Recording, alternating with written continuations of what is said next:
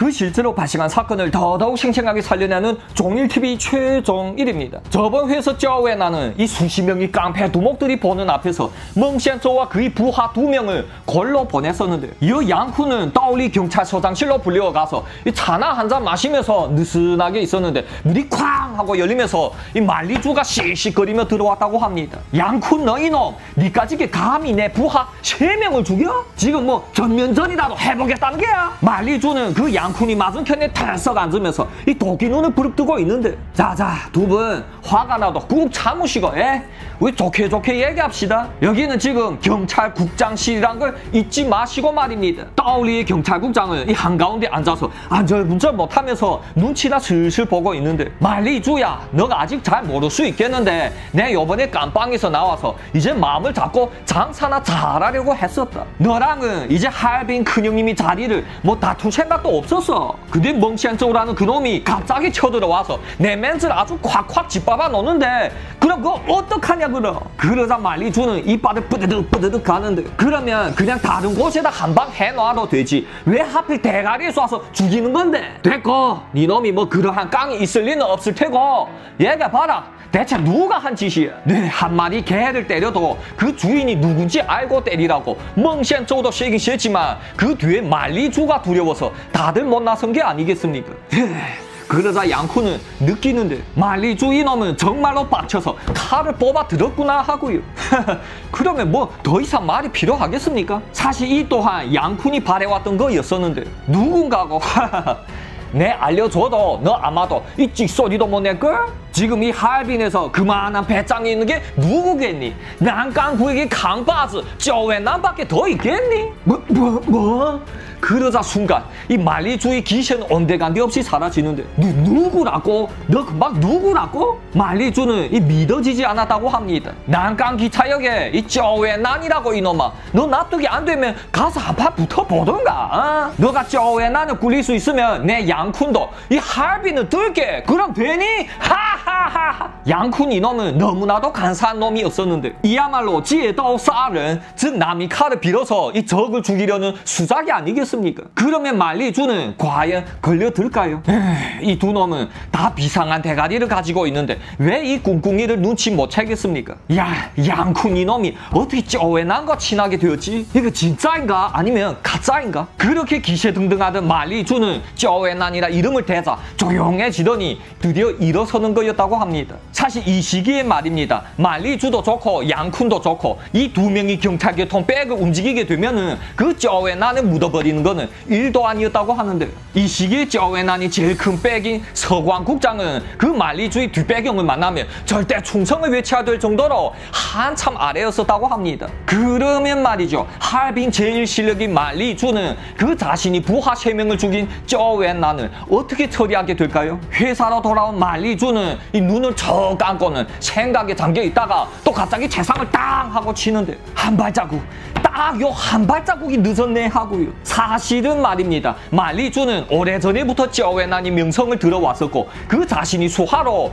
그렇게도 넣고 싶어 했다고 하는데 그야말로 삼국시기 조조가 그 용맹무쌍한 관우와 조자룡을 그렇게도 얻고 싶은 거랑 뭐 똑같은 경우겠는데 말리주는 잘 알고 있었다고 합니다. 만약에 자신이 이 쩌웨난을 수하에 넣으면 아니 이 쩌웨난과 잘 친하기만 하여도 큰 일을 할 수 있다는 사실을 전체 할비는 물론이고 그 옛날 처스처럼 전체 동북 삼성을 먹을 수도 있다는 사실 말입니다. 말리주는 천하를 품을 수 있는 큰 그릇을 가지고 있었고 거기에다가 또 비상한 머리 또한 어마어마한 자금까지 받쳐줘서 딱 그 옛날이 조조와 같았다고 합니다. 그러면 이 쩌웨나는 어떻죠? 쩌웨나는요 이 비록 천하를 품을 수 있는 큰 그릇도 안 되고 머리 또한 나쁘고 자금도 없지만 이 전투력 하나만은 천하무적이 아니겠습니까? 그야말로 쩌웨나는 얻는 자 동북 삼성을 얻는다 였었는데 만약에 말리주가 그때 쩌웨난과 친하게 지낼 수만 있어도 두 번째 처스가 될 수도 있었을 텐데 말입니다. 처스가 리정광을 얻고 전체 흥룡강성을 통일할 수 있었듯이 말리주한테 쩌웨난은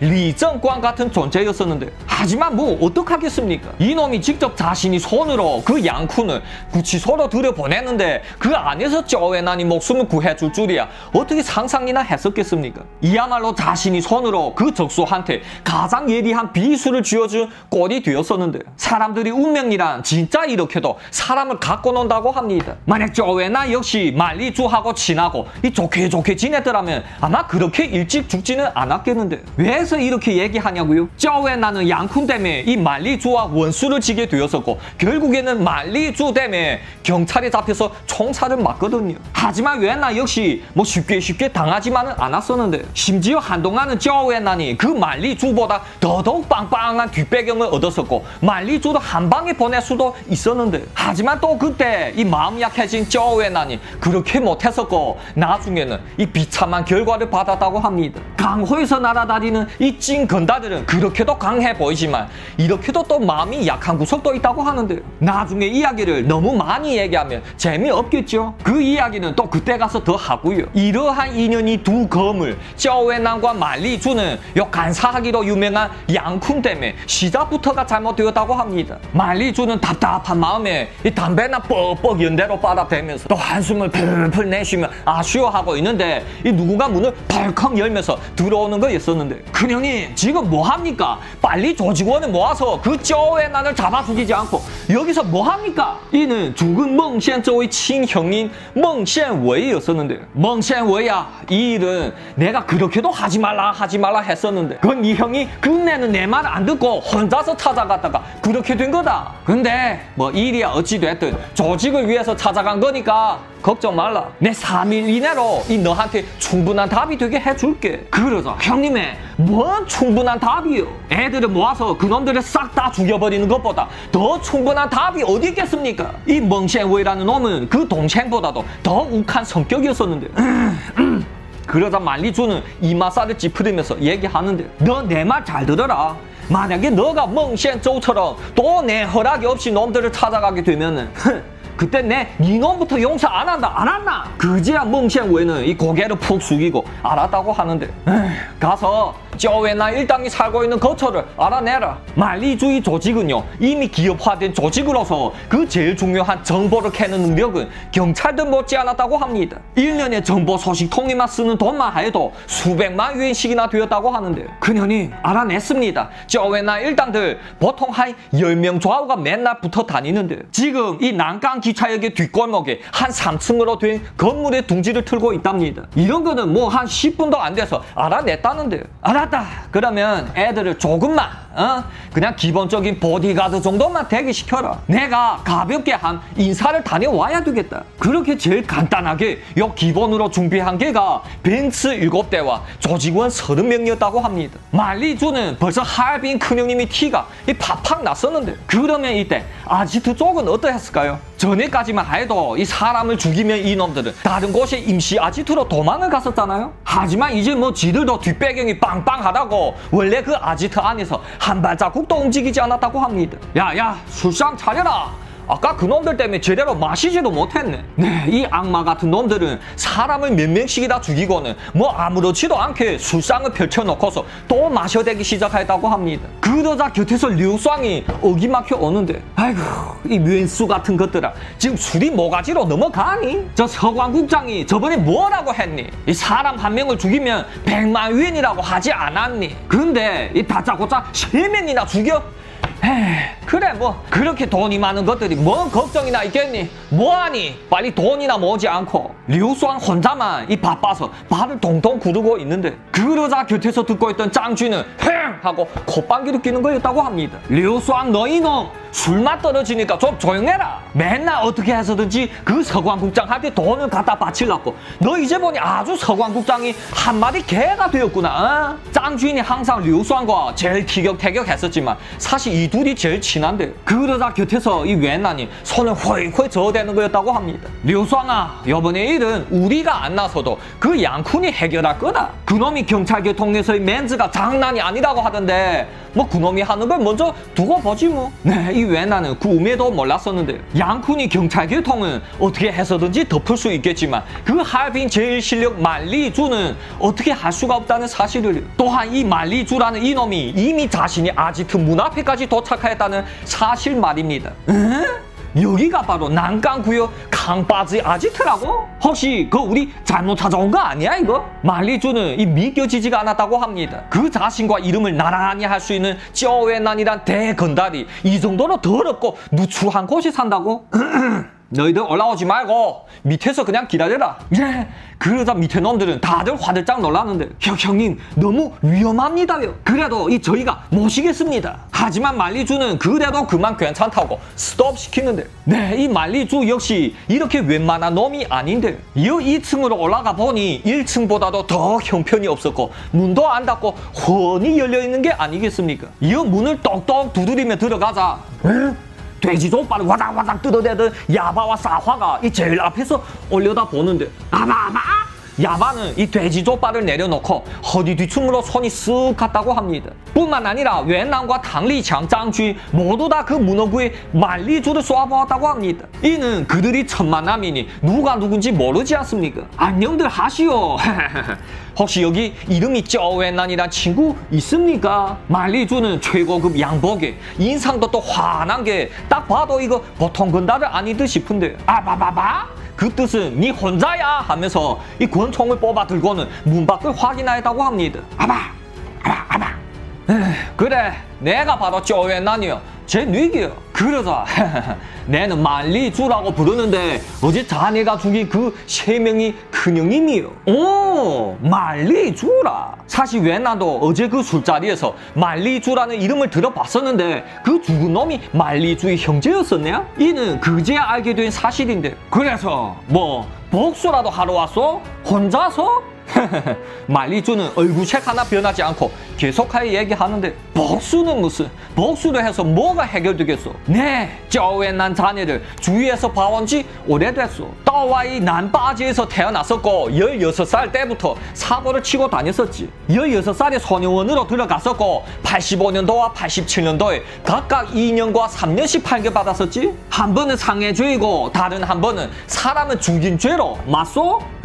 그러다 웬난은 휘둥그레해지는데 대부분이 사람들은 90년대 이후에 웬난이 소문만 들어왔었지 이 어렸을 때 일은 거의 아는 놈이 없었겠는데 어, 어떻게 그렇게도 나를 잘 아오? 그러자 말리주는 피식 웃는데 이렇게 얘기하지 내는 저웬난 자네의 팬이라고 할 수 있어. 내 여번이 온 거는 다름이 아니고 이 친구를 먹자고 온 게요. 내는 저웬난이 시원시원하고 이 무서울 게 없는 성격이 정말 마음에 든다니까. 어, 이 좋게 좋게 지내러 온 거군. 그제야 야바는 이 권총을 홀스터로 집어넣고 수상으로 돌아가서는 다시 돼지 족발을 잡아 드는데. 자, 들어.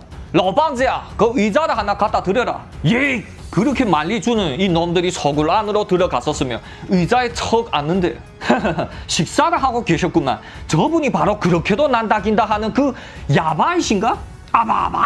야바는 그 자신을 알고 있자 아주 신이 났다는데 아바 아바 아바 야바는 그 먹던 돼지 족발을 과작 하고 끊어서 말리주한테 건네는 게 아니겠습니까? 아, 고맙소. 근데 내 금방 밥을 먹고 와서. 말리주는 이 겨우 마다 하고는 웬난을 보고 얘기하는데 웬난아, 내그 죽은 부하 놈이 이름이 멍시엔저우라고 불렀다. 내 그렇게도 하지 말라 하지 말라 말렸었는데 그까지 지 혼자서 찾아간 게 아니겠. 다뭐 그놈이 잘못이지 뭐. 어디 감히 전하의 쪼웨난과 걸구드다니 말이다. 이 사건은 내가 경찰계통 쪽에 얘기를 해서 내가 막을 테니 너는 안심해라. 응? 자신이 부하가 죽었는데 이 복수를 해주려 온 것도 아니고 뭐 돈을 달라는 것도 아니고 자기가 해결을 해준다고? 왜? 네 하지만 이 세상에 공짜가 어디 있겠습니까? 다만 내요 자그마한 요구 조건이 있는데 말이다. 내하고 양쿤 사이에는 이 무조건 승부를 가려야 해. 나와 양쿤 중에서 누구 하나 이 할비는 들 때까지 계속해서 전쟁을 이어가야 된다 이 말이지. 그래서 말인데 너가 우리 사이에 이 더 이상 간첩하지 말고 그냥 모르는 것처럼 해줬으면 고맙겠다. 내는 이 저웨난이 친구가 되고 싶지 원수는 되고 싶지 않거든. 어 그럼 그렇지. 결국은 이것이었구만. 사실 이러하면 이 보통 건달이었더라면 대뜸 승낙하겠죠. 지금 이 하얼빈에서 공식 넘버원 세력인데 그놈이 제일 아끼는 행동대장을 죽였다? 근데 이 하얼빈 큰형님이 지금 직접 찾아와서 죄를 묻지도 않고 자기가 경찰 개통을 덮어주겠다? 또한 우리가 한 가지 알아둬야 할 점은요. 요번에 왜나니 그 깡패 두목들이 모인 자리에서 멍시안쪽 일당 세명을 죽인 거는 전에 감옥 안에서 목숨을 구해준 거를 이미 다 보답을 했다고 볼 수 있겠는데 그러면 이러한 상황에서 오케이 하고 이 대뜸 받아주는 게가 맞지 않겠습니까? 하지만 말리주야 너가 이 일을 덮어준다고 하면은 내는 매우 고맙다. 내 이 가슴 깊이 간직하고 너가 만약 힘든 일이 있으면 얘기만 해라. 내가 너를 위해서 사람을 죽여줄 수도 있다. 그러자 말리주는 하우 하우 하면서 아주 박수를 치는데 그런데 말이다. 네가 양쿤과 싸울 때 내를 보고 못 본 것처럼 해달라 하는 거는 말도 안돼. 네가 만약 양쿤을 치겠으면 먼저 내를 죽이고 내 시체를 밟고 지나가야 될 거다. 잘 알아들었나? 그러자 말리주는 이 살짝 당황하다가 다시 하하하하 하고 웃어대는데 역시다 역시. 내 보는 눈이 정확했어. 자 왜나나? 먼저 급해 말고 이러는 게 어떻겠니? 내 금방 들어오면서 보니까 이 아지트 환경이 이게 아주 말이 아니더라. 저왜 난이 이러한 환경에서 살게 되면은 내 이 팬이 마음이 아프지 않겠니? 자 이러자 내 매 년마다 너한테 300만 유엔씩 연봉으로 챙겨줄게 어? 나랑 함께 큰일 하자 물론 너희 지금이 나와 바디들 수입은 다 원래대로 너가 먹고 만약 너희 형제들도 함께 오게 되면은 내 또 다 각각 따로 이 연봉을 맞춰서 챙겨줄게 어떠야 어? 아 아. 그리고 물론 너를 보고 뭐 내 밑으로 들어오라는 게 절대 아니다. 우리 좋은 친구로 어깨를 나란히 맞추고 이 똘똘 뭉치자는 거지. 어떻게 함께 잘 살아보자 웬나나. 네, 여러분이 생각에는 어떻습니까? 왜 난이 지금 수입이 1년에 100여만 정도가 되겠는데 거기에다가 플러스 300만 위에? 이만큼 좋은 조건이 어디 있겠습니까, 여러분? 하지만 그래도 왜 나는 뭐 추호의 흔들림도 없이 머리를 절레절레 저었다고 합니다. 말리주야! 나도 솔직히 너가 마음에 든다. 그리고 너의 의견 또한 매우 고맙고. 그런데 말이다. 너와 양쿤이 무조건 싸워야 된다면 너랑 내는 이 영원히 가까이 갈 수 없는 거다. 알았니? 내 쪼에 나는 원칙 있는 남자다. 세 번째로 똑같은 말을 또 반복하게 하지 말라. 네, 왜 나는 또 그 만리주의 면전에 대고 두 번째로 거절을 해버렸다고 합니다. 에이, 이만하면 웬만한 놈들은 네 내를 맨줄 아이주니 하고 화가 날 법도 한데 이 말리준을 계속하여 웃고만 있는데 왜나나 네가 이름이 이럴수록 내 너를 점점 더 존경하게 된다. 만약 양쿤이 없었더라면 우리 진짜 호형호재하면서 친할 수 있었겠는데. 에이. 알았다. 근데 내는 급하지 않다. 어찌됐든 이 일은 내가 나서서 이 경찰 개통을 덮을게. 우리 다음에 만났을 때는 이 기분 좋게 술이나 한잔 하지 뭐. 자, 너 전화번호 알려달라. 말리주는 그 외난이 명함 한 장을 받아주고는 아쉬워하면서 떠났다고 합니다. 그러면 이 일은 그냥 이렇게 끝나는 걸까요? 아직인데요. 죽은 멍시엔저의 형, 멍시엔웨이가 아직도 그 말리주의 회답을 기다리고 있지 않습니까? 그러면 이 일은 과연 어떻게 발전될까요? 다음 회에 계속하겠습니다. 재밌게 시청하셨으면 구독과 좋아요 쾅쾅 박아주시고요. 다음 회에 또再见。